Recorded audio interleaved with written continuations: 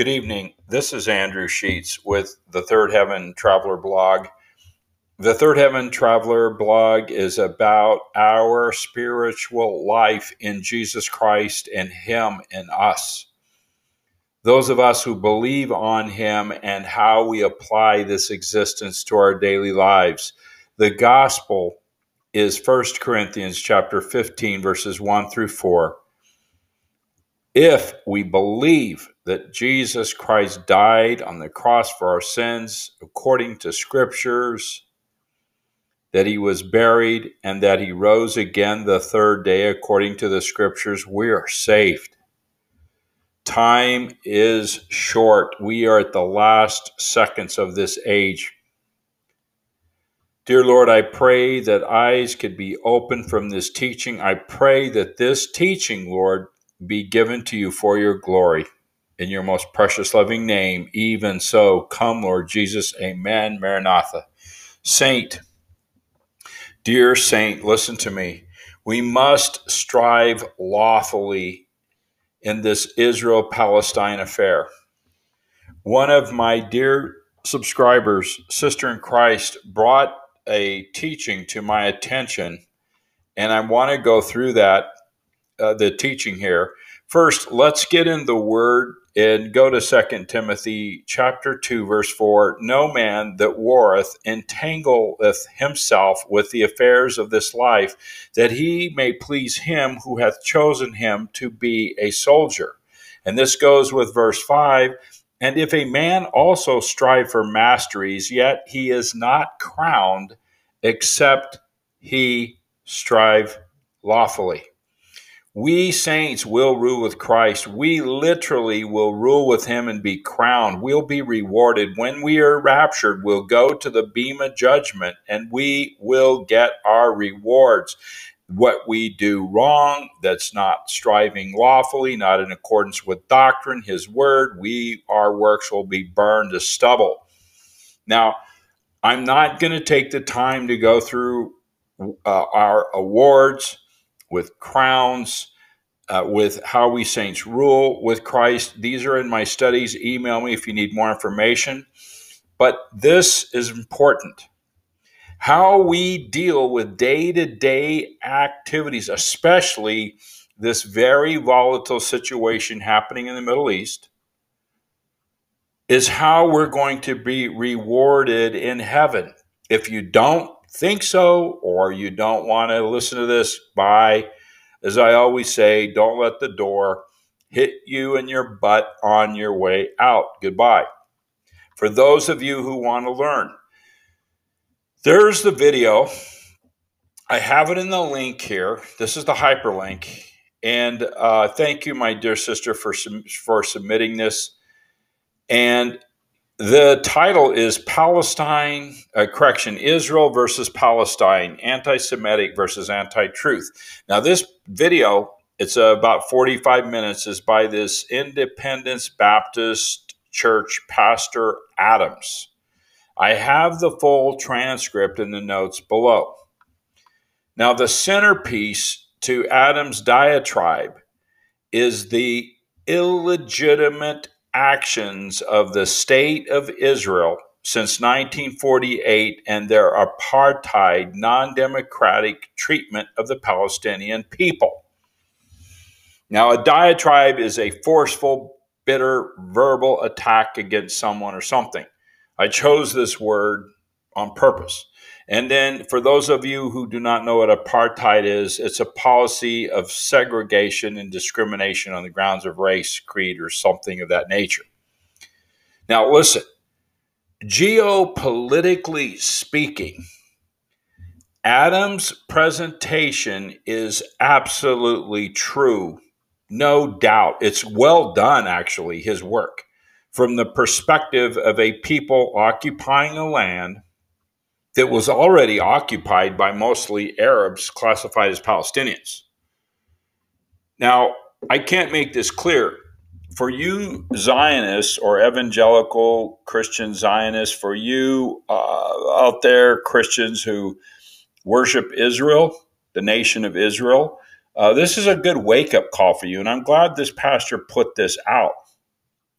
Now, there's also big problems with what he's saying, and we're going to talk about that. Now, note, there are some others out there. This Chuck Baldwin of Liberty Fellowship in Montana, that boy is leading a cult straight to the Antichrist. Now, now listen, at the same time, Chuck Baldwin has absolute awesome, unmatched research in how evil the Zionist agenda and the regime really is.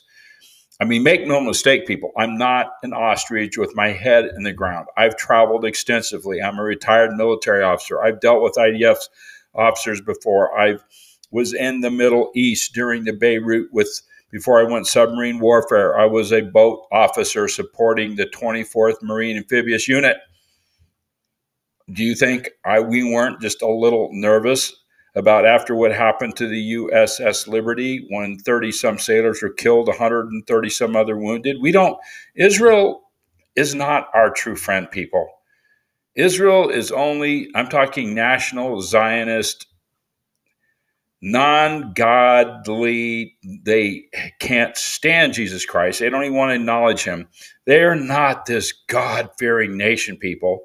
They use God, they use even mention the Bible to keep the evangelical Christians in tow, bring them along as useful idiots. And they have there, and I think that no doubt, like this Amir Tsarfati is one of their tools, and he uses evangelicals as useful idiots. Now, this Chuck Baldwin, make no mistake, his research. Now, I urge you check into this guy because the Zionists have infiltrated the United States. Now, when I say Zionists, the Mossad, the Israeli uh, counterintelligence, they're working in very mysterious ways, evil ways, to completely grab and take America into a chokehold.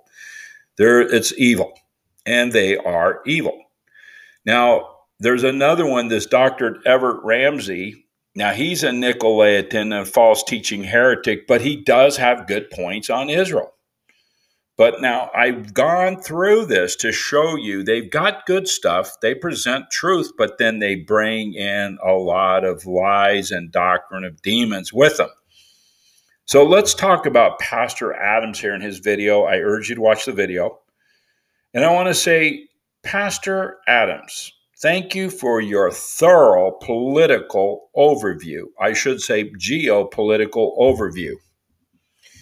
But I'm going to say, Pastor, I don't like the term pastor because, in the context of the 501c3 brick and mortar operations called churches, today run by apostate trained CEOs called pastors, for example, you being a pastor and all the other Baptist, repeat, Baptist pastors, you make this being a Baptist, you're a follower of the vain philosophy of man and creeds and tradition and not after Christ. Ouch! Yes, it's true. It's true. Baptist creeds, yes. Read Colossians chapter 2 8. This is why I don't go to church 50 years of coming out of religion, come out from among them. Let's talk about Jude chapter 1, verse 11. I urge you, I plead with you, take the hour. It will take over an hour, but take the time, make your notes, study my Let's Talk About Jude 1 11. Now, as I continue, there are two major issues with Adams' assessment.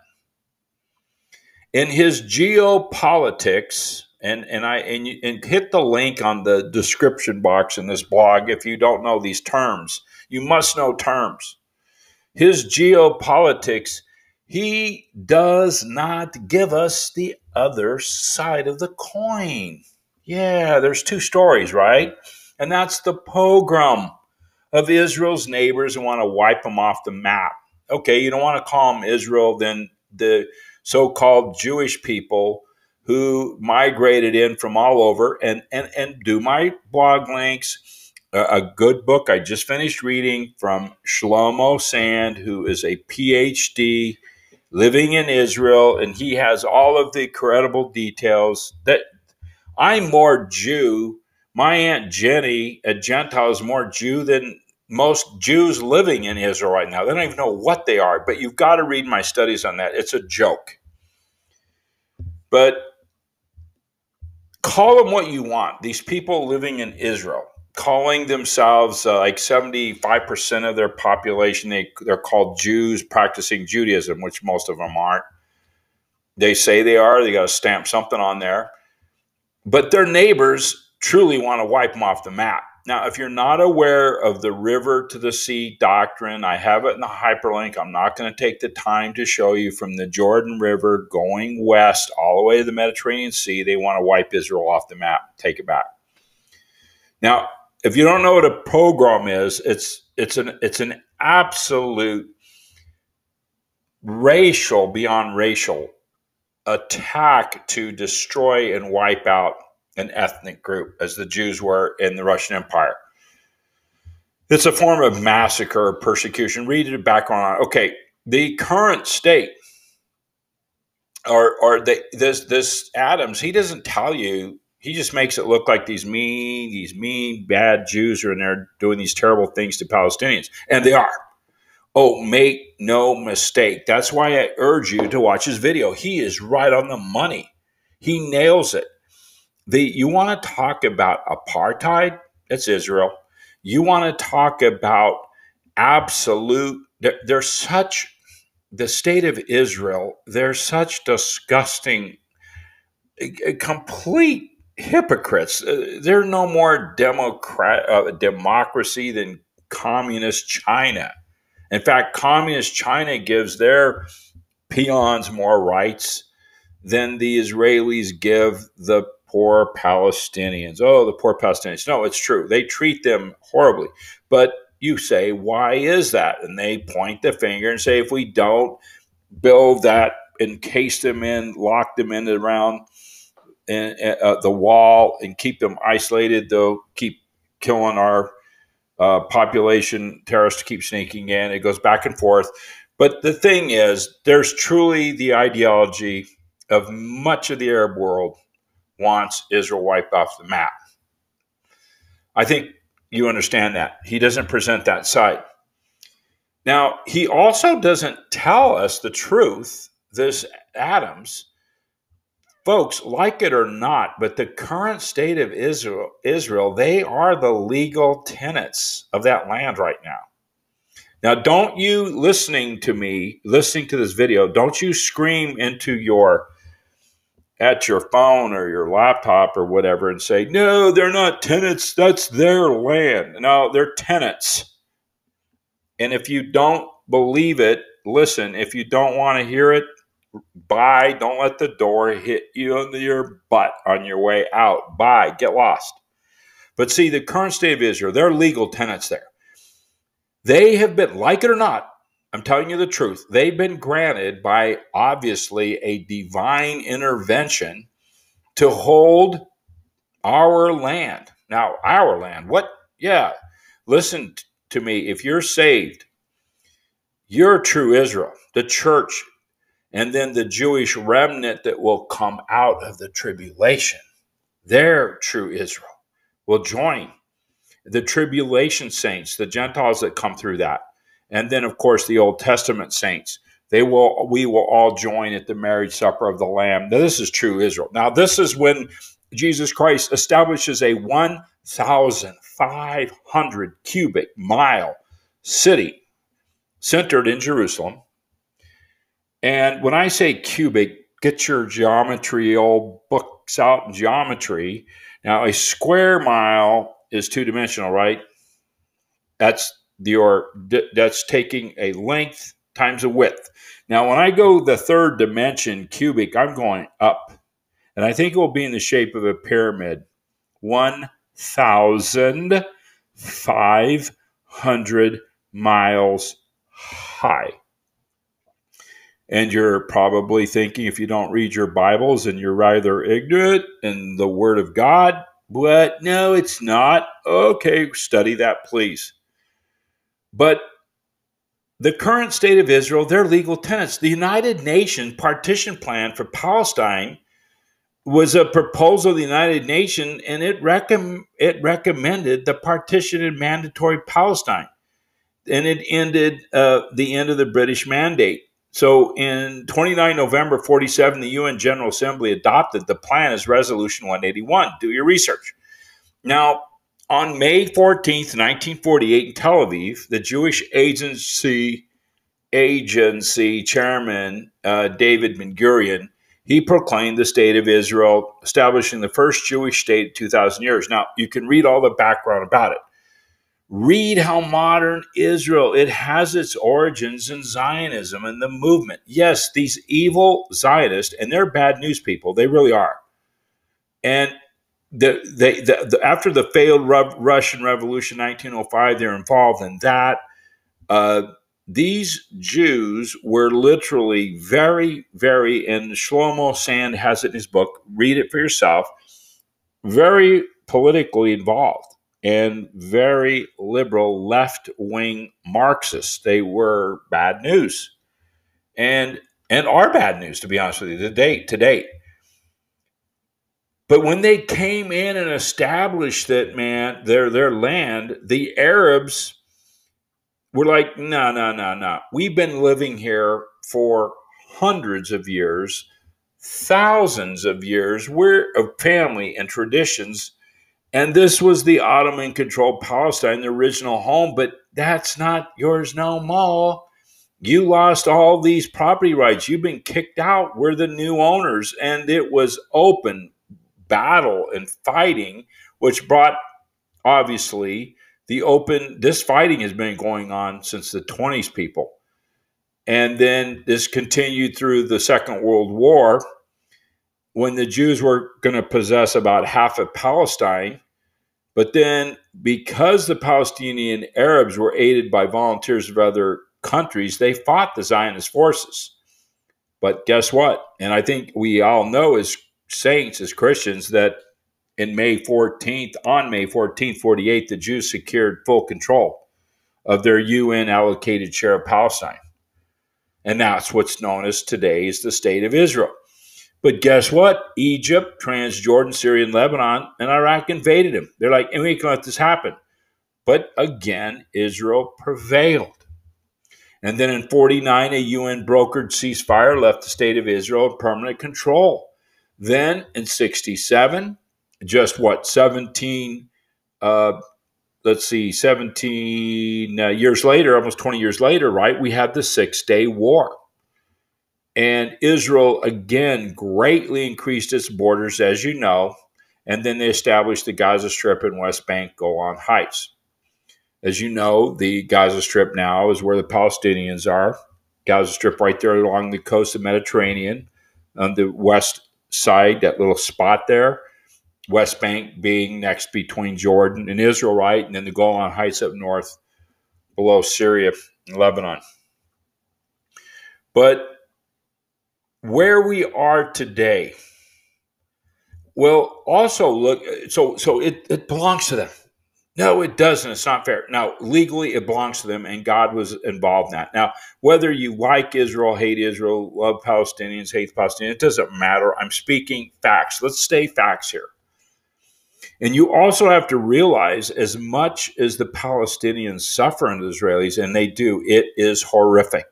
It's nothing short of genocide. What's happening right now in Gaza is nothing short of genocide. I'm talking about the innocent Palestinians, not Hamas. But see, people also don't understand.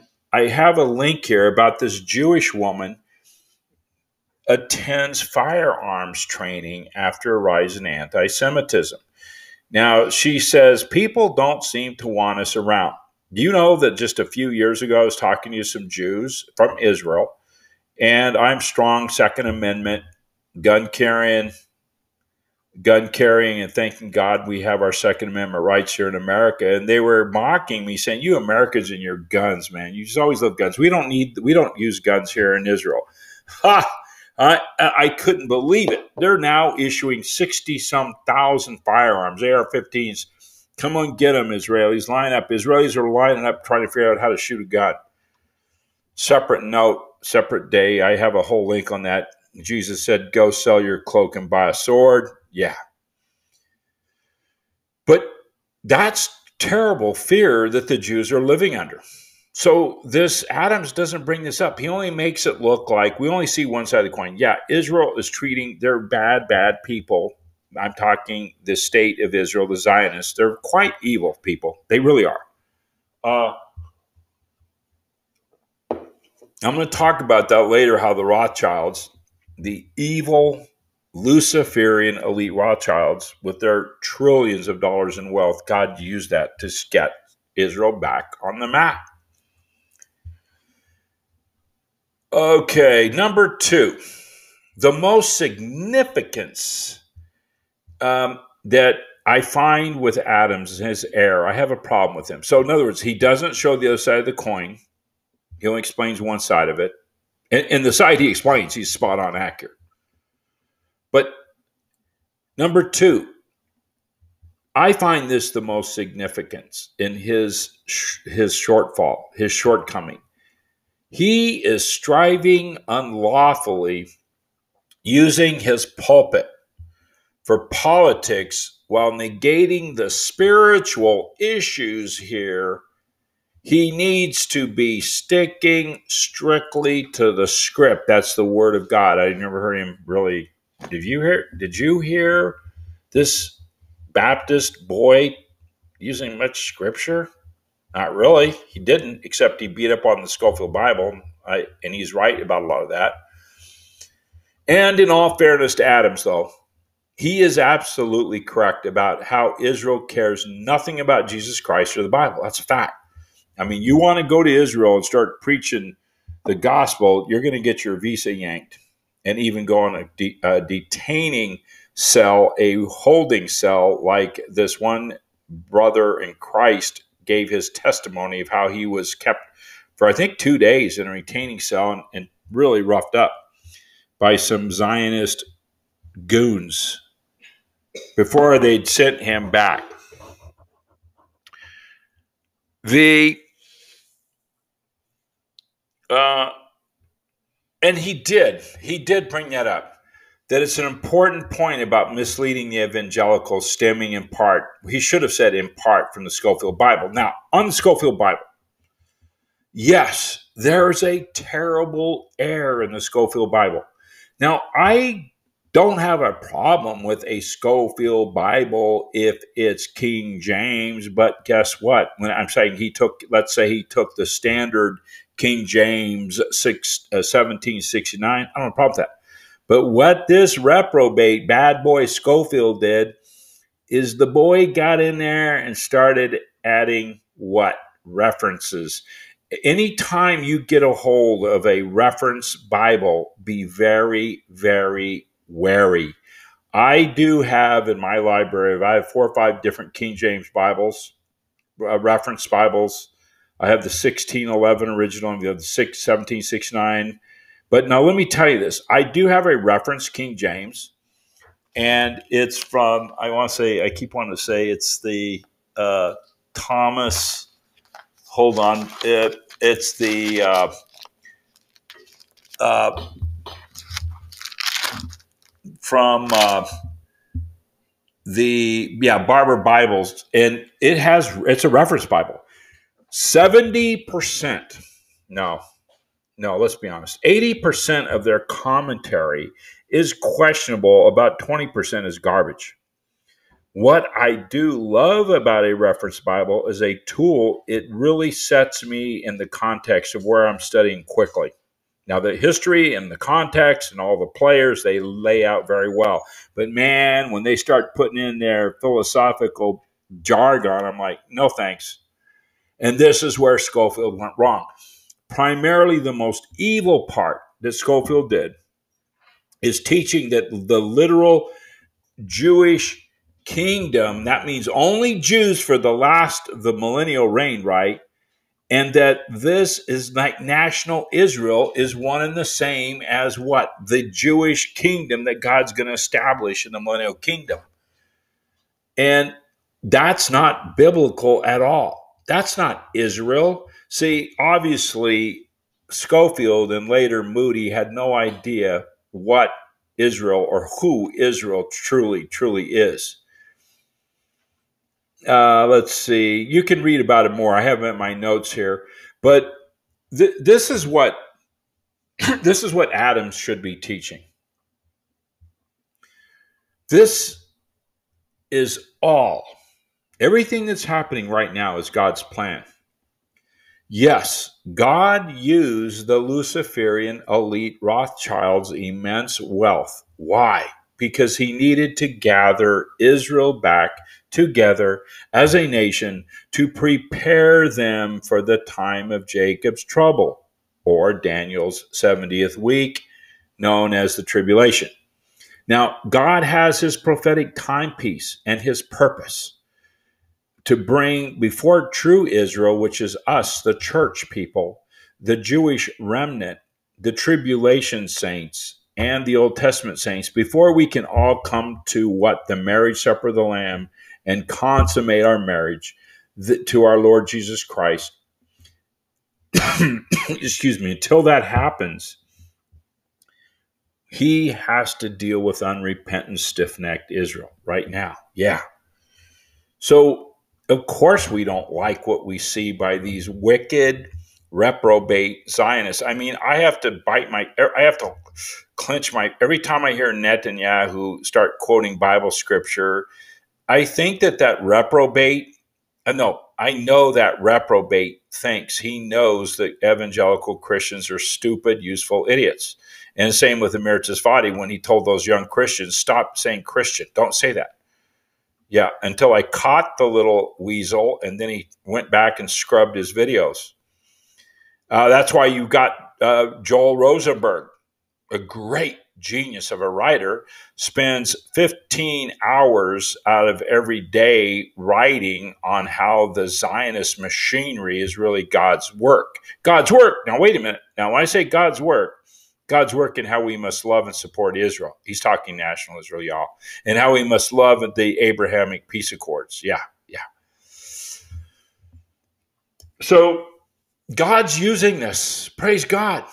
You, he should be talking about the shock and awe of the book of Hebrews. This is what he should be teaching. Read my study on how Paul, yes, Paul wrote Hebrews. No, he didn't. Yes, he did. Yes, he did. Paul wrote the book of Hebrews, read my study.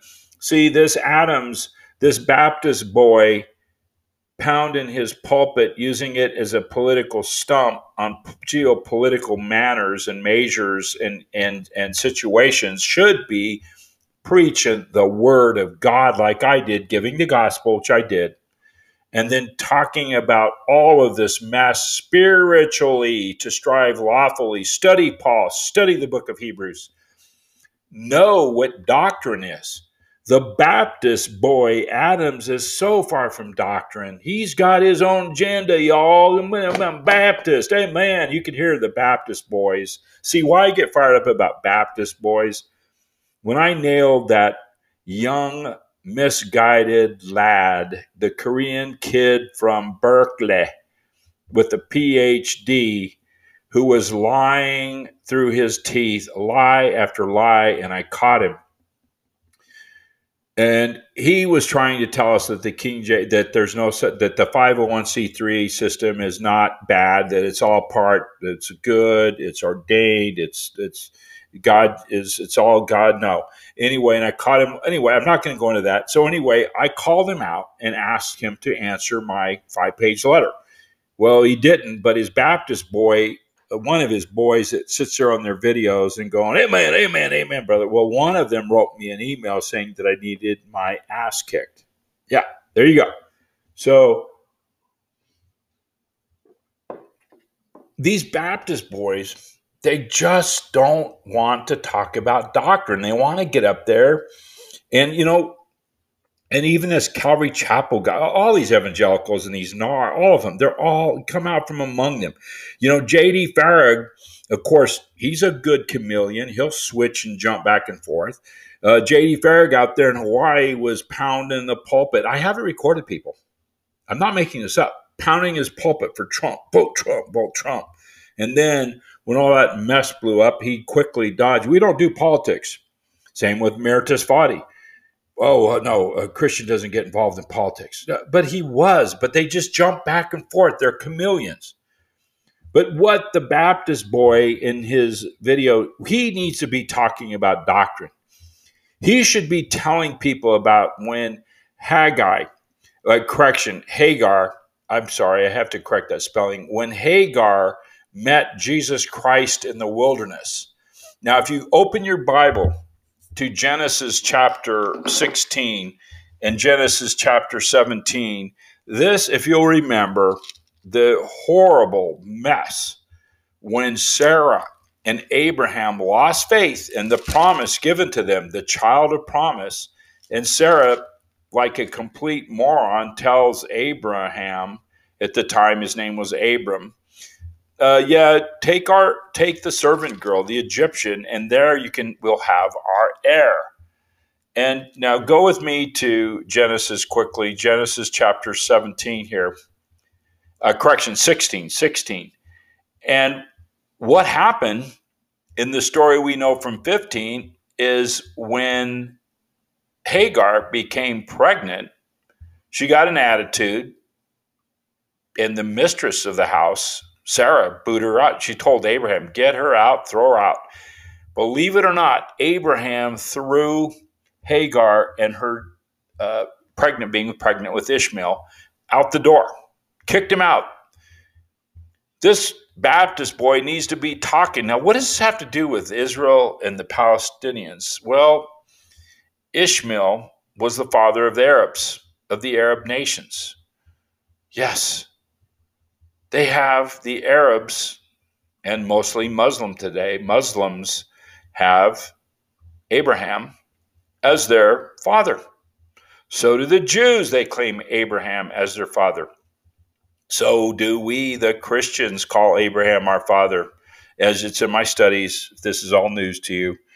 So go with me to Genesis chapter 16. So Hagar, she was kicked out, and now she is in a very, very bad way.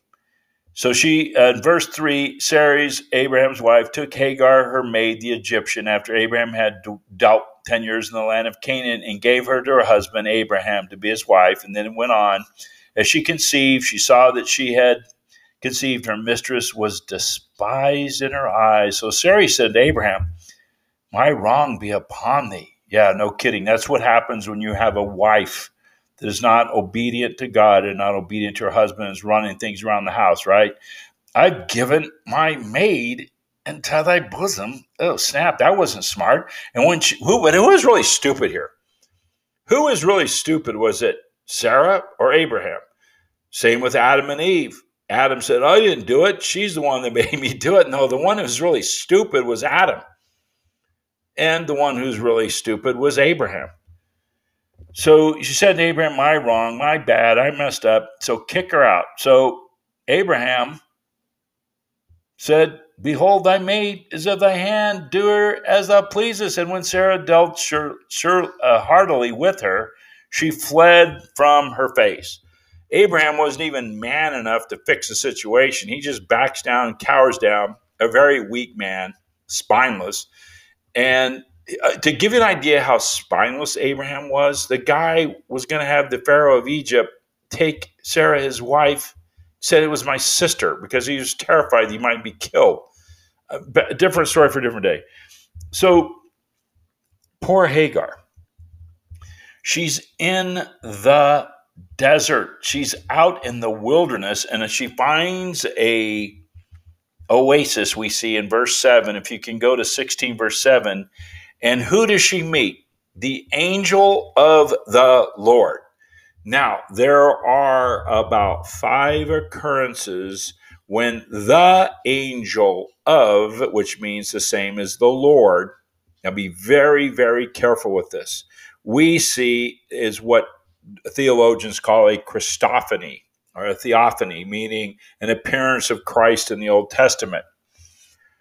I don't want to go into that detail now, but I have two huge studies. It's called Come Meet My Kinsman Redeemer. See, Jesus Christ, there's not this thing with called a pre incarnate Jesus. No, pre incarnate literally means before he was a person. Jesus Christ has always been a person. He's always been a body walking around. He's God in what is a person. But when he became in the flesh and scripture was when he brought was brought forth from the womb of Mary as the babe born in the manger. I'm not going to get off on all these subjects, but read and study, commit, come and meet my kinsman redeemer, Jesus Christ, and his appearances to man in the Old Testament. I kind of feel like I want to kind of read over these now, but uh, for time's sake, please study that. Email me if you have questions. So, what this Baptist boy needs to be talking about oh, these terrible, evil Zionists. Well, let's get in scripture. Let's strive lawfully. Let's tell people what's going on here. Hey, the, the, the Arabs who the Zionists are treating worse than dirt, and it's genocide now, the way they're going, they're, they're what, 10,000, 12,000 now? Innocent, supposedly most, I would say, Palestinians are being slaughtered. You see what Israel wants to do, right? The Zionists want to completely, they want to go from river to sea and clean out every one of them. The ones that survive, they want to ship them off to England, the American. Someone else taken, but we want to make this all not a nice Jewish state. Belongs to us. We're going to establish God's kingdom here. Yeah. Wrong. No, no, no. The two state solution, it doesn't matter, people. As long as Israel has a piece of what they're living in, it, whatever the land is, all they are doing now is occupying space as tenants until Jesus Christ comes and lays down the real property that belongs to Israel, the true Israel. So, why this story about Hagar? Well, he needs to talk about how Hagar met Jesus. What did Jesus do? He met Hagar. What are you doing out here? She said, I got kicked out. And Jesus said, Yeah, I kind of don't understand what's going on. Guess what Jesus did? And you don't believe this was Jesus? Read carefully. I'm not going to go through it with you. Read carefully Genesis chapter 16. Hagar knew it was God. She quoted whom God whom I've met. And Jesus Christ literally tells Hagar, go back to Abraham. He sent her back. And then Jesus later in Genesis chapter 17 tells uh, Abraham, look, dummy, she's coming back. The child will be born. His name will be Ishmael and Ishmael will be the father of princes and be a great nation. And oh, by the way, she's back in your household, meaning, you know, under your cover. What does this mean for today? The Zionist state has an obligation not to go slaughtering. oh they they honestly look at Arabs as non it's worse than apartheid. They don't even look at them as human. It's horrific. But because the Zionist propaganda and machinery has evangelicals and congressmen paid into their pocket and controlled and with the media and on and on and on, they have people believing that no, they're those evil, evil Arabs, they must all be die, they must all die, kill them all for Jesus. Amen lie. That's a lie from hell. Do you realize how many Arabs are Christian? How even the Muslims. Muslims are devout. They love they love the connection to Abraham and during the time of Jacob's trouble we don't know how many of them will come to the saving grace and knowledge of Jesus Christ. It's not our job to pick out that one, this one, this one.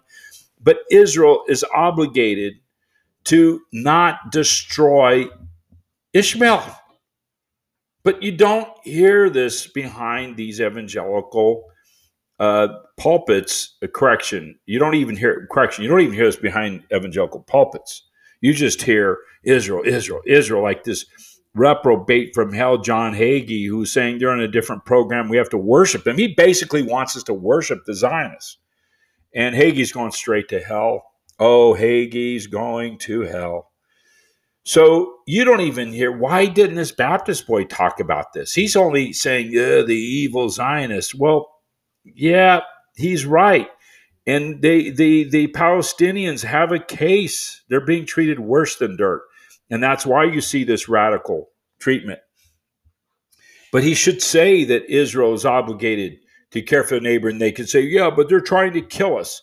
Well, there are ways that you, if you take care of people, that will not breed such hatred. When you have people that can't get a job, when you have people that are locked up and treated like animals, this is where the uh, traditional fundamentalist breeds. And I'm not going to get into the politics of it. Just let's talk about Ishmael and Isaac. In that vein, though, Ishmael is what? The child of flesh. Isaac is the child of promise. Now, the ultimate, what this the Baptist did not talk about. Why did Jesus send Hagar and Ishmael back? Why? Because the ultimate body of Christ is Israel, not DNA, Listen, you proud Jew, you say my mama got DNA, I Jew, man. No, no, no, no, no. Who ca- we couldn't care less. God could not care less because we have the word of God as written in Romans chapter 2 verses 28 and 29. For he is not a Jew, which is one outwardly, neither is that circumcision, which is outward in the flesh but he is a Jew, which is one inwardly, and circumcision is that of the heart and the spirit, and not in the letter, whose praise is not of men, but of God. Amen. Amen. Hallelujah. Please read, as I said, come meet my kinsman redeemer. Read Melchizedek, my kinsman redeemer. Read and study, behold the Lamb of God. Do you know him? read and study the man Christ Jesus. The perverted Bibles say, oh, Jesus was a human when he walked the earth. That's a lie from hell. No, Jesus was not human, he was a man. Read uh, my study on this true, who is, what is true Israel? I have a video in his blog on it. The state of Israel. They're the tenants over the land that belongs to true Israel. This is what that Baptist boy needs to be teaching and preaching. Finally, that Baptist boy needs to be teaching and preaching. Pray like Paul that Israel be saved. It is written in Romans chapter 10 1 Brethren, my heart's desire and prayer to God for Israel is that they might be saved. Amen. Hallelujah. Maranatha. The closing comment the transcript is here in the notes. I urge you to read and study it. Questions, email me. Even so, come, Lord Jesus. Amen. Maranatha.